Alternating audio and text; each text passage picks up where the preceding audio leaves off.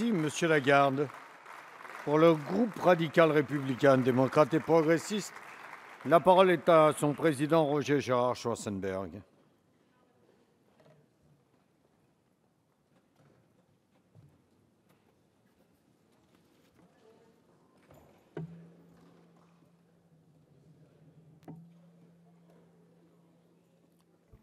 Monsieur le président, monsieur le Premier ministre, messieurs les ministres, mes chers collègues, au nom de mon groupe, je m'incline avec émotion, avec respect, devant la mémoire des 84 victimes du terrorisme tuées à Nice jeudi dernier.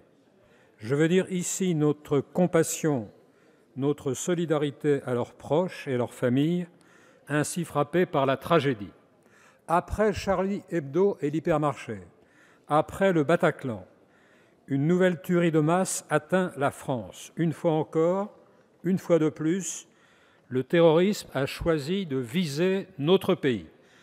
Le tueur a voulu agir le 14 juillet, le jour où la France célèbre la liberté, la fraternité et les droits de l'homme, autant de principes que Daesh rejette, autant de valeurs qu'il refuse comme incompatibles avec son intégrisme absolu. La démocratie, notre régime de liberté et de dialogue, est inacceptable pour ses ennemis de la liberté, pour ceux qui veulent imposer leurs convictions par la force, leurs croyances par la violence. Désormais, le fanatisme est de retour, comme aux temps les plus archaïques. Si le terrorisme a ciblé la France à nouveau, c'est aussi parce qu'elle est une grande nation militaire, engagée en Syrie et en Irak pour faire reculer le prétendu État islamique et libérer les populations qu'il a servies la France qui est engagée concrètement, activement dans cette coalition, sans se borner à de simples déclarations ou proclamations comme le font d'autres États. Et je tiens à rendre hommage à nos forces militaires engagées sur ces théâtres d'opération. Dans ces circonstances si dangereuses, le gouvernement demande donc au Parlement une nouvelle prorogation de l'état d'urgence, et il est fondé à le faire, vu la gravité des attaques et la persistance des menaces à un niveau très élevé. Depuis la mise en œuvre initiale de l'état d'urgence jusqu'au 29 avril 2016, 404 personnes ont fait l'objet d'une mesure d'assignation à résidence. Du 14 novembre 2015 au 25 mai 2016, 3 594 perquisitions administratives ont été conduites, dont 592 ont donné lieu à l'ouverture d'une procédure judiciaire. Avec le texte qui est examiné aujourd'hui, on l'a dit, ces perquisitions administratives vont redevenir possibles. Dans ce cadre, de nombreuses armes ont été saisies, dont des armes de guerre. D'une manière générale, d'ailleurs, l'état d'urgence a permis la détection et la désorganisation de plusieurs filières djihadistes qui étaient prêtes à passer à l'action. Plusieurs attentats qui se préparaient ont été ainsi déjoués et des vies ont été préservées. Tel a été le cas notamment avec l'arrestation en mars à Argenteuil du djihadiste présumé Reda Cricket. L'état d'urgence a fait la preuve de son efficacité même si celle-ci peut sans doute être encore renforcée. Par ailleurs, le gouvernement a fait adopter, à juste titre, plusieurs lois sur le terrorisme et sur le renseignement qui ont été promulguées les 13 novembre 2014, 24 juillet 2015 et 3 juin 2016. En particulier, cette dernière loi, qui a été votée à une très large majorité dans les deux assemblées, renforce sensiblement l'arsenal judiciaire et policier.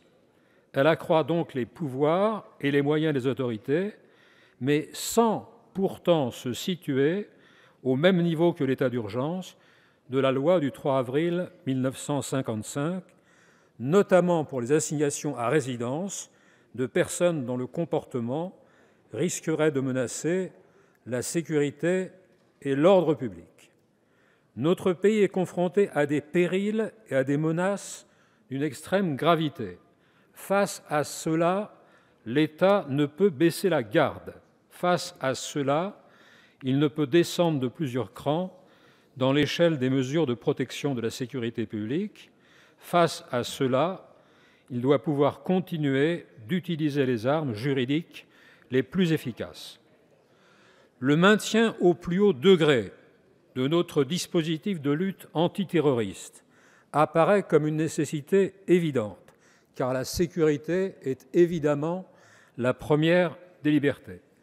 Quand la République est attaquée, elle doit se défendre avec la plus forte détermination. Certes, l'état d'urgence est un régime d'exception, mais il répond à des circonstances exceptionnelles. Devant une telle succession d'attentats, l'État doit rester au niveau de protection maximale pour la population. Il faut d'ailleurs rendre hommage à nos compatriotes qui font preuve d'un profond courage face aux risques dont ils sont menacés. Ils donnent à tous une grande, une très grande leçon de dignité, de civisme et de solidarité. Cependant, certains acteurs politiques donnent une image caricaturale de l'état d'urgence en le présentant comme attentatoire aux libertés, alors qu'il veille à respecter l'état de droit et à s'inscrire dans son cadre. Il faut donc rappeler quelques points.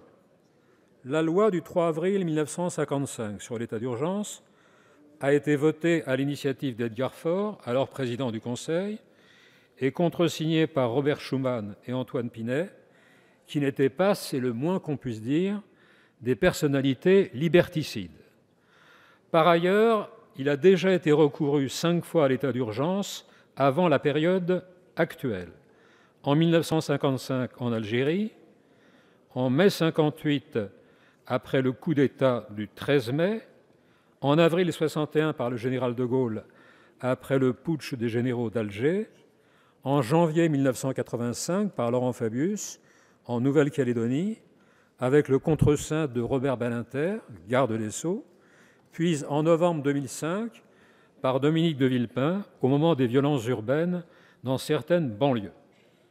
Enfin, la durée de l'état d'urgence sera sans doute euh, prorogée par le présent projet de loi de six mois. Sans être brève, sa durée globale sera donc nettement plus courte que celle liée au putsch des généraux d'Alger.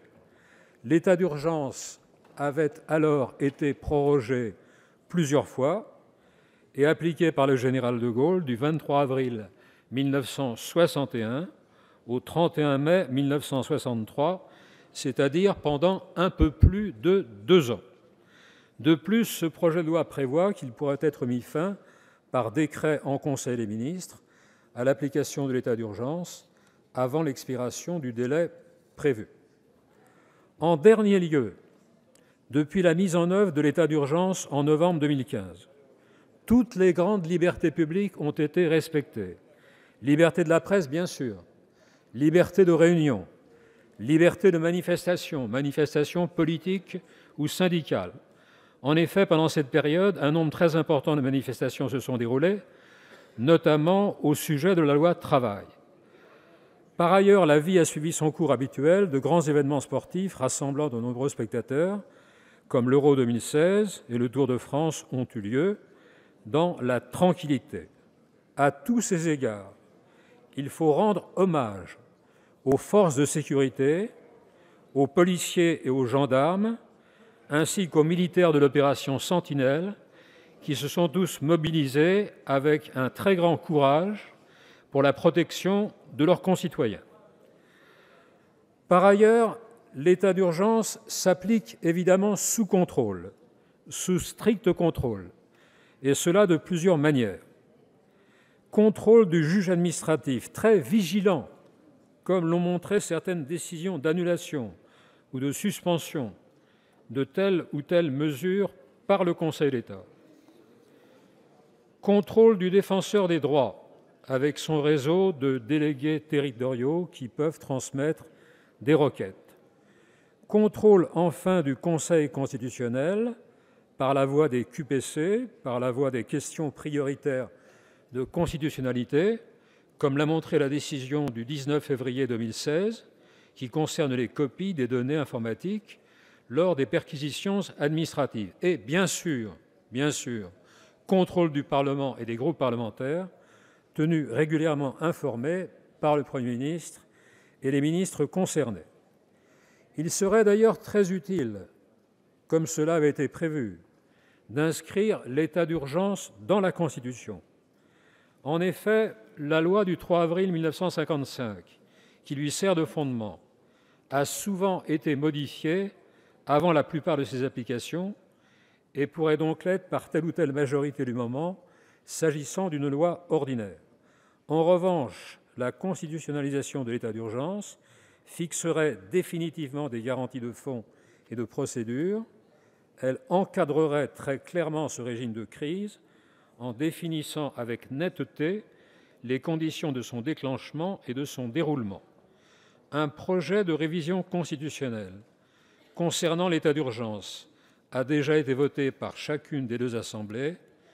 Il reste maintenant à reprendre ou à poursuivre cette démarche. Mais par-delà les règles et les procédures, notre société a surtout besoin de retrouver, de renforcer deux valeurs fondamentales de la République. D'abord, la laïcité, qui respecte toutes les croyances mais n'en reconnaît aucune, comme le souligne la loi de séparation de 1905. Cette neutralité de l'État entre les confessions permet à tous de vivre ensemble, par-delà les diverses appartenances religieuses, qui doivent concerner essentiellement la vie privée. De Paul Bert à Jean Zay, les radicaux ont toujours soutenu l'école publique et laïque, l'école de la République, celle qui remplit une mission essentielle, accueillir sur les mêmes bancs tous les élèves, quelle que soit leur origine, leur conviction, leur confession, qu'ils s'appellent Christian, David ou Karim. Cette école est le creuset même de la France républicaine et l'un des principaux facteurs de son unité. La laïcité, en effet, réunit et rassemble, elle fédère, elle renforce la cohésion du pays. Au contraire, le communautarisme instituerait ou risquerait de conduire à une république éclatée qui serait fragmentée en groupes distincts et séparés les uns des autres, en groupes qui tendraient à vivre repliés sur eux-mêmes. L'essentiel, c'est pourtant d'être ensemble. L'essentiel, c'est pourtant l'échange entre tous. C'est le dialogue entre ceux qui ne partagent pas nécessairement les mêmes croyances, mais qui sont avant tout des citoyens de la même cité. Seconde valeur essentielle et complémentaire, l'unité nationale. Dans les circonstances tragiques d'aujourd'hui, notre pays est meurtri et blessé, sous le choc des attaques, sous la menace des périls.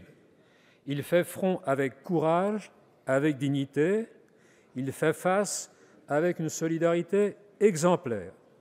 Ce qu'il attend de ses représentants, ce ne sont évidemment pas des polémiques ou des querelles inutiles. Ce qu'il attend, ce ne sont évidemment pas des controverses camp contre camp. Dans les épreuves, la France est grande et forte quand elle est unie et rassemblée.